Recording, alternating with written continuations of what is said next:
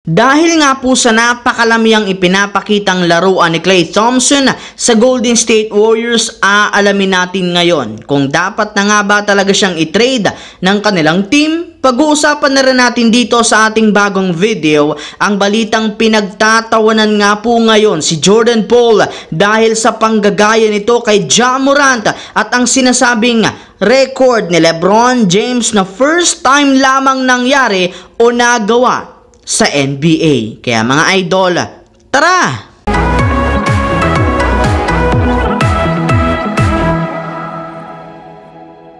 Kahit man nga po mga idol nakapagtala pa lang si Klay Thompson ng 20 points sa kanilang pagkapanalo sa kanilang huling game, first time pa lang naman nga niya itong nagawa ngayong season. Sa katunayan, sa loob nga po ng unang 15 games ng Warriors, nag-average lang naman nga ito ng 14 points a game malayong malayo sa itinatala niya last season na 21.9 points per game. Kaya dahil nga po sa napakalamian itong laro, sinabayan pa ng sunod-sunod na talo ay inulan na rin naman siya ngayon ng sari-sari mga trade rumors na nagsilabasan ngayon. Yes mga idol, maaari rin naman nga po nila siyang gamitin bilang kanilang trade assets upang makakuha ng mas magaling na superstar sa trade market. Pero ang tanong, pwede nga ba talaga siyang i-trade ng Warriors ngayong season? Well, technically, yes mga idol. Pwedeng pwede nga po siyang i-offer sa ibang kupunan since patapos na rin naman ang kanyang kontrata at ayaw rin naman nga nila siyang bigyan ng contract extension gayong hindi nga nila afford na ibigay sa kanya ang hinihingi nitong napakalaking pera. Pero kahit gaano man nga po kagusto ng mga fans ng Warriors na i-trade si Thompson Imposible pa rin naman nga itong mangyari dahil sigurado nga po na maaapektuhan ng todo ang kanilang chemistry at rotation. Majority nga po sa mga ginagamit na play ng Warriors ay para kay Klay Thompson kaya masisira nga ng ganyan klaseng move ang kanilang kupunan. Isa pa, magagalit rin naman nga dito si Stephen Curry gayong gustong gusto nga nito na manatili sa kanilang team ang matagal niya ng kasama na si Klay Thompson. Samantala, pumunta naman tayo sa ating pangalawang storya sa bali balitang pinagtatawanan nga po ngayon si Jordan Poole ng mga fans dahil sa panggagaya niya kay Ja Morant. Alam naman nga po ninyo na isa nga po ang Washington Wizards sa mga worst team sa liga ngayong season sa pagkakaroon nila ng 2 wins, 11 losses na may kasamang 6 game lose streak. Pero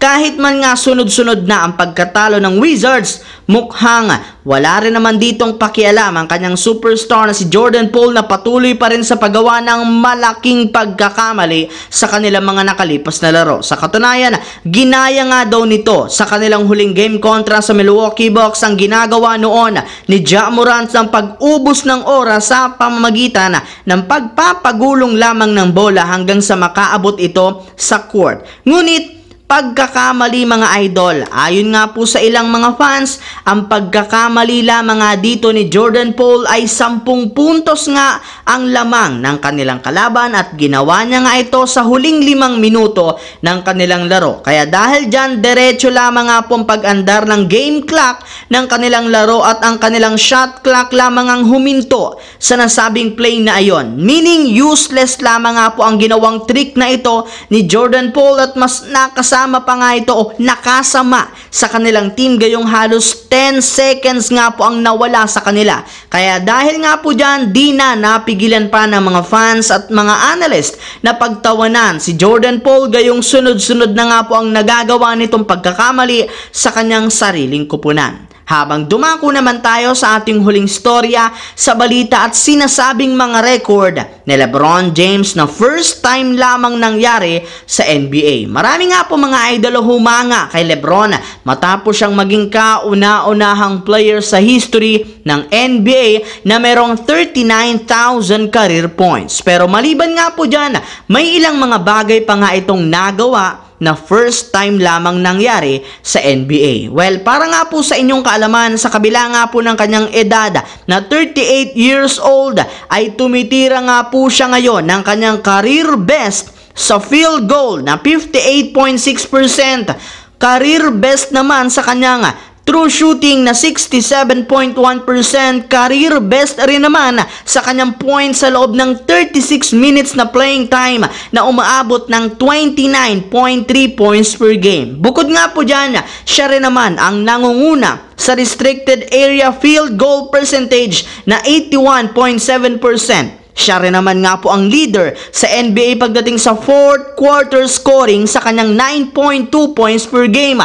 At higit sa lahat, siya ang may pinakamataas na efficiency ratings sa fourth quarter ngayong season sa kanyang plus 6.3. Kaya ibang-iba nga talaga ang ipinapakitang performance ngayong season ni LeBron James kumpara ng mga nagdaan taon sa NBA at maraming mga fans ang nagsasabi na dapat nga daw kasali ito sa MVP rankings dahil sa kabila ng kanyang edad na 38 years old at papasok na sa 39 pinakamagaling na player pa rin naman nga po ang nangingibabaw ngayon.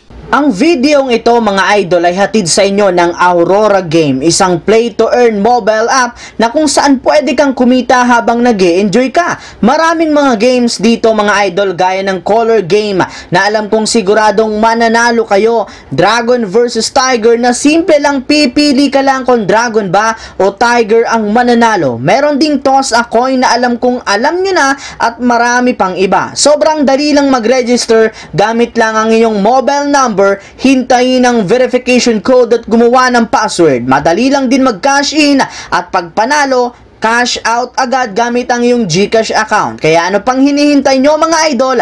Mag-download na at manalo. Nasa comment section ang link para makapagsimula na kayo. So yun lamang mga idol ang ating bagong balita ngayon na ating pinag-usapan dito. Once again, this is your J-Zone TV. Huwag kalimutang mag-like at syempre mag-subscribe na rin. Pindutin ang notification bell sa akin channel para lagi kayo maging updated sa mga videos na pinapalabas ko. Isang malaking shout out sa lahat ng solid na laging nanonood dyan. Maraming maraming salamat mga idol. Hopefully, nag-enjoy kayo ngayon.